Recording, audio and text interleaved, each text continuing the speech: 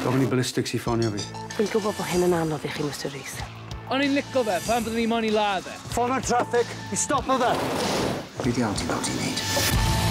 Y gwyll yn parhau nos iau ar S4C.